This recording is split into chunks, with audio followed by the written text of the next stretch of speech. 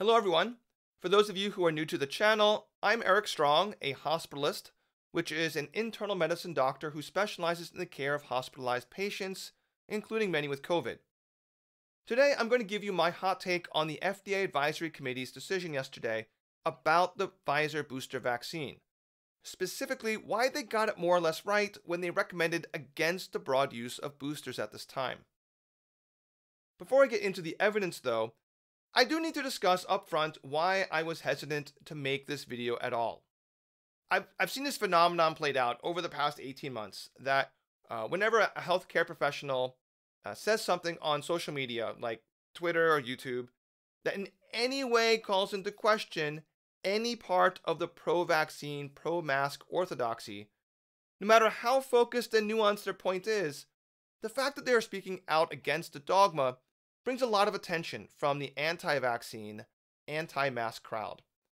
When these folks see a doctor speaking out against the government's position in any way, they see it as a validation of all of their views.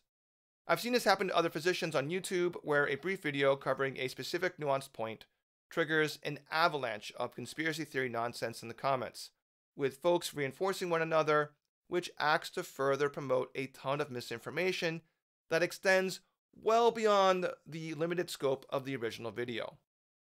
So I want to be absolutely clear upfront that by me discussing why the Pfizer booster should not be broadly administered at this time, it should not be seen as validation that the COVID vaccines in general are bad or government conspiracy of some kind or whatever.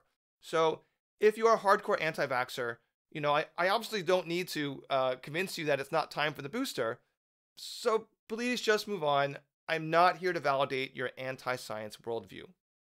Instead, this video is for pro vaccine individuals, people who eagerly received their initial vaccination, and who have been anxiously awaiting news about the booster because they want to get it themselves. In the rest of this video, I'll talk about the three lines of evidence that Pfizer included in their application to the FDA to grant authorization for their booster. The FDA briefing document, which contains all the data I'll be discussing, is available to the public for free. Um, the link will be in the video description. I'll end with a discussion of how politics and science are mixing together in a dangerous way here. And because this is just a hot take and I want this I want to get this info out while it still feels current, it's not going to be a particularly deep dive into the data. Um, if you think I've oversimplified any of the discussion, feel free to talk about it in the comments. The first line of evidence that Pfizer included in the application can be summarized as among people who are initially fully vaccinated, immunity against catching COVID decreases over time. Pfizer cites several studies to back up this assertion, including a retrospective cohort study from Israel in which there was a correlation between time since vaccination and the incidence of breakthrough infections. First, this study is just a preprint and an unusually brief one at that, meaning that it hasn't been peer reviewed and it hasn't been published. And it's, to be honest, it's not even clear that someone has confirmed their calculations. But what the authors do claim here is that there was a 53% increased risk for breakthrough infection among individuals who received the second dose of the Pfizer vaccine in January or February as compared to March or April.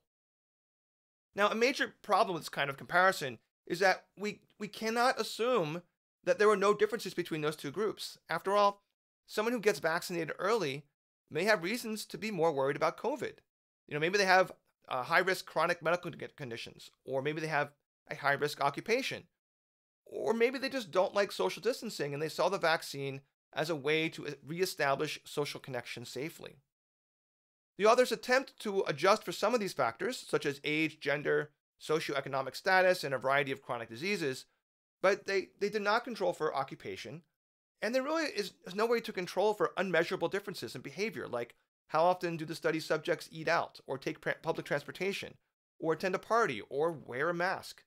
You know, there, and there's also the issue that the authors focused on the relative risk reduction or risk increase, uh, which is, as people who have watched my videos on appraisal of clinical trials know, focusing on relative risks suggests that the actually important absolute risk reduction was underwhelming, which was the case here. Because although a 53% increase sounds pretty big, the fact is that the vaccines remained incredibly effective even in those who were vaccinated first. And there's also the issue that the relative proportions of the viral strains have changed over time. As the Delta variant, which appears to be more contagious, increases in prevalence, it makes it more difficult to tease apart that factor from waning immunity over time. But in short, even if we accept this line of evidence at face value, that immunity has slightly declined over time, that does not directly support the use of a booster. It would be, um, as a comparison or analogy, it would be like a pharmaceutical company trying to get a new chemotherapy drug for melanoma approved by leading off the discussion with a study showing that melanoma incidence has increased over time. You know, just because the situation is bad or because the situation is getting worse, that doesn't mean that your particular intervention is going to help. So I feel really underwhelmed about this entire line of evidence, which was the first third of Pfizer's application.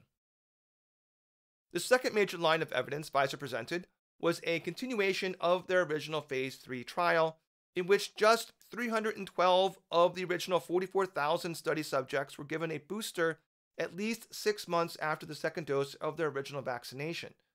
The application states that all 312 were subjects who had been originally randomized to the vaccine rather than placebo, but it otherwise doesn't describe how they were selected or of how many who were initially selected either couldn't be located or actually turned the offer of a booster down. So that's that's kind of a problem right off the bat. Also, of those 312 subjects, six were excluded from the analysis because they were mistakenly given the wrong booster shot. You know, one for a different SARS-CoV-2 variant. You know, I suppose we should be glad that Pfizer was honest about such a stupid mistake, but it still does not inspire a ton of confidence. Another important point here is that all 306 remaining subjects received the booster, there was no placebo at this time. So, what did they use as a control?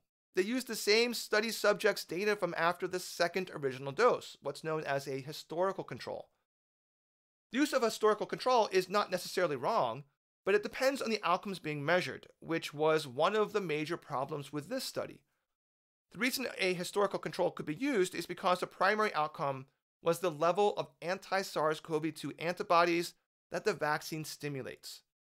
This phase 3 trial of the booster showed that the booster elicited similar antibody titers in these individuals as had occurred after they had received their second dose. That's kind of it. You know, they didn't look at rates of COVID infection or hospitalization or death or anything like that. Just what happened to the antibodies. This is what is called a surrogate endpoint, meaning it's an easily quantifiable endpoint, but is not one of direct clinical importance However, it stands in for something that is of direct clinical importance. So, in other words, the assumption is that bumping up antibody levels with a COVID vaccine would lead to enough of an increased immunological response that it would decrease the risk of COVID in these subjects. But that's a big assumption because antibody titers they're not a good surrogate for immunological response. You know, there's a lot more to our immune system than just antibodies. It's just that antibodies are the thing that's easy to measure. Another major problem with the study is its size. While Pfizer reported that the incidence of side effects were similar to that seen with the second dose, 306 subjects are not enough to determine the incidence of rare but serious side effects. For example, what about the observation of the mRNA vaccines, including Pfizer and Moderna, rarely leading to myocarditis, particularly in young men? Since this has been observed to be more common after the second dose of the vaccine, it's not unreasonable to suspect that it may be even more common after a third dose. Yet, assuming the increased risk of myocarditis is not orders of magnitude higher with a third dose compared to the second, it will almost certainly be low enough that it's not going to get picked up by a trial involving 300 subjects, particularly when the majority of those subjects were not young men, the typical demographic for this particular side effect. So, in short, instead of conducting a large traditional, double blind, randomized controlled trial of the booster with a clinically meaningful endpoint, which was what was done for the vaccine's original authorization last December, for the booster, Pfizer conducted a small, not clearly randomized, sort of controlled trial with a suboptimal surrogate endpoint and which was underpowered to detect rare but clinically meaningful toxicity. So, uh, why did Pfizer think this would be okay? I mean, shouldn't they have realized that this would be insufficient? Oh, it's because the FDA said back in February that it would be okay. And I, you know, I wish I could say I was surprised that the FDA would would tell them ahead of time that this would be okay, but it's actually consistent with the evolution that the drug approval process in the US has been undergoing recently, in which new treatments are brought to market faster by streamlining the approval process, meaning using weaker and weaker data. Again, for the record, this was definitely not true of the original EUA for the vaccine last winter, but it's certainly true for this booster application. And the third of three lines of evidence that the booster application uh, included was so called real world data on the public health impact of boosters. You know, this term re- real world data is something else. You know, it, it, it sounds like it's somehow superior to the alternative, like the difference between in vivo versus in vitro data. But what real world data really means is data that was collected outside of an experiment or a clinical trial, which has the consequence of the inclusion of biases that are difficult to identify. And if you can't identify them, you can't control for them, as we'll see here. Now, once again, Pfizer cited a study in Israel where the Ministry of Health initiated a booster program for older adults and those with immunocompromise in July on what seems like zero evidence whatsoever. Um, what they found was that individuals who received a booster were less likely to subsequently contract COVID as compared to adults who had received the first two shots but not a booster. As with the first study I mentioned, the authors controlled for age and gender, but there are a ton of things that cannot be controlled for. You know, as prime evidence for this, substantial additional protection from COVID was seen within one day of getting the booster, which is far too quick to be physiologically pro- uh, plausible. So there was something inherently different about the Israelis who took the booster versus those who did not. And the study had a very short follow up period, so there's no telling whether the, suppo- the supposed benefit that was observed is long lasting enough to be meaningful. Plus, the study only looked at the elderly and those with immunocompromise. It did not look at relatively healthy young and middle aged folks. So, in summary, the three lines of evidence for the booster that Pfizer presented.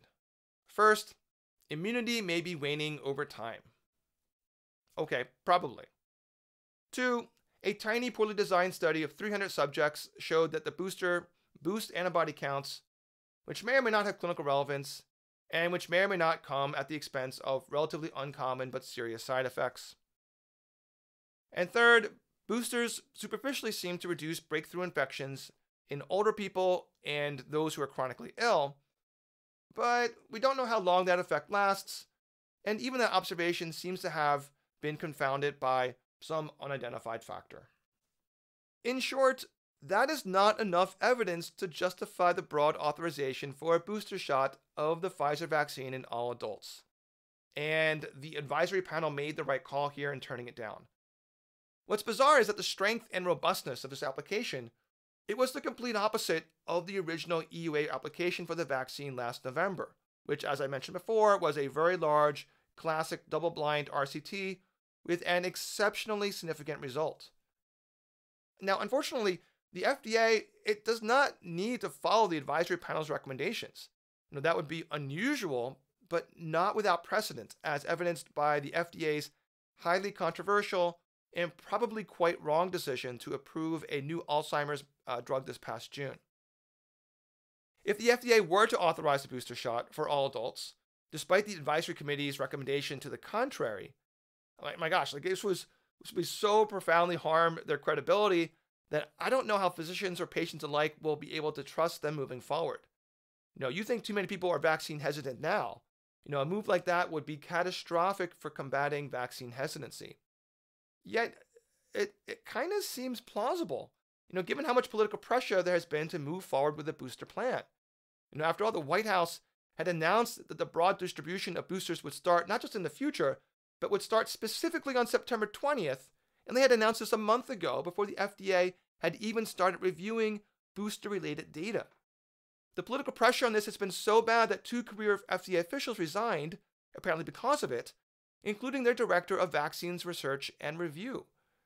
As I indicated at the very beginning of the video, you know, I definitely do not want to create fodder for the conspiracy theorists.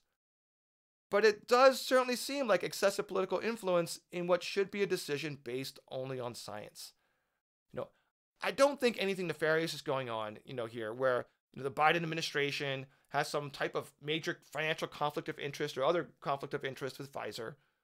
But I do think that some people in the government, perhaps Biden himself, and some prominent public voices during the pandemic, including on social media, they've not been sufficiently critical of the COVID dogma. Some folks have been so pro vaccine for the last nine months that they've failed to apply the brakes when the policy started getting in front of the data, as it has been in this case. After a, to, uh, after a 16 to 2 vote recommending against the booster for all adults, the panel did hold a separate vote in which they unanimously recommended it for those over 65 and those at high risk of severe COVID. I feel a little ambivalent about that recommendation, to be honest. You know, while most, if not all, physicians I know believe that boosters will, at least at some point, have a favorable risk benefit balance in that population, I still don't think the data supporting it is there. But it's a sure thing that the FDA will concur with that recommendation, so the Biden administration will get a partial win on that. It's just, you know, it's it's just so incredibly disappointing that the FDA is not requiring Pfizer to do a conventional, large randomized controlled trial of the booster with a clinically relevant primary outcome. You know, I know that I, I, sound like a broken record about that, but that's really the only way to know if boosters will be a net benefit. Anyway, that's my unadulterated hot take on the Pfizer booster application and yesterday's hearing. If you think I've misread the data or you disagree for some other reason, feel free to explain why I'm wrong. Um, however, before you conclude that I'm off my rocker here, you should check out the recent Lancet viewpoint against current broad use of boosters, uh, at least use of boosters now at this time, uh, that argued some of the same points I did, though probably more eloquently. Uh, I'll put a link to that in the video description below.